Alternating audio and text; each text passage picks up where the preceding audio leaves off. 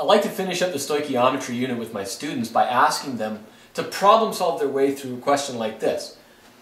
Hey, here's some cobalt uh, chloride, but you know it's a hydrated co compound, and I don't know what that number is in front of the water, which is called the water of crystallization or the water of hydration.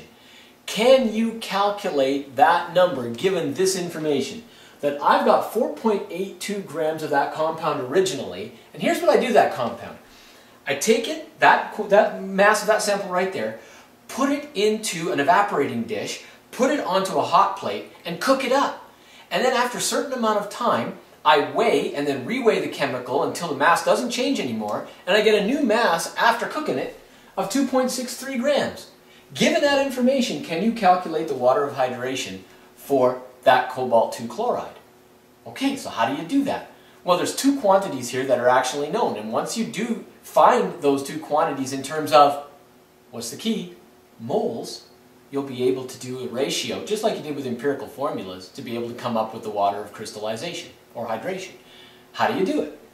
Well, okay, if I've got 2.63 grams of compound, sorry I wrote it that way, compound, compound, and the compound is CO, COCl2,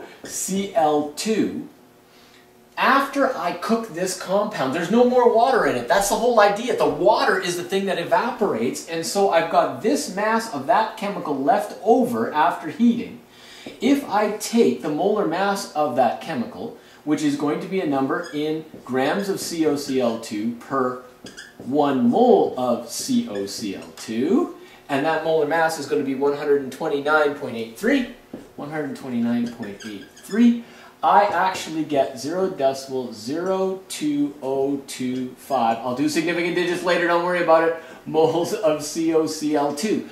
That's the number of moles of that that I have after I evaporate the water.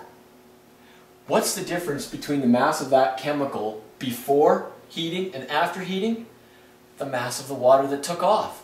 And so if you subtract 4.82, you subtract from that 2.63, you're going to get 2.19 grams of water. When you find the moles of water by taking the molar mass of water, which is 18.02 grams of water for every one mole of H2O.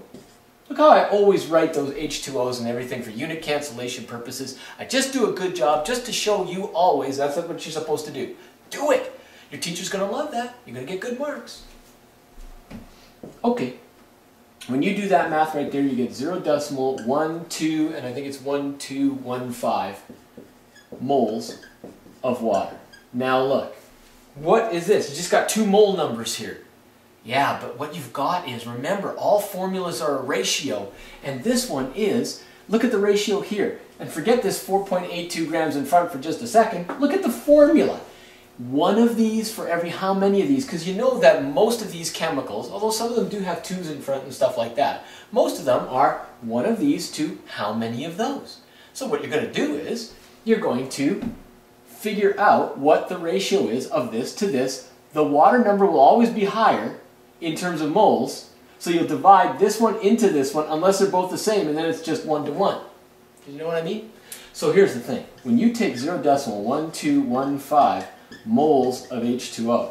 And you divide it by 0 decimal 02025 moles of COCl2, the ratio of that to that is 6 waters to 1 COCl2. That's the ratio that you get here.